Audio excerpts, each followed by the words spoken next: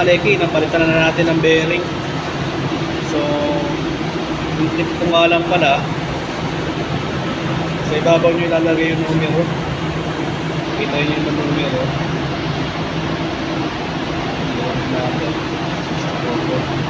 Sa ibabaw nyo lagi ilalagay. Para sa susunod may mag-over.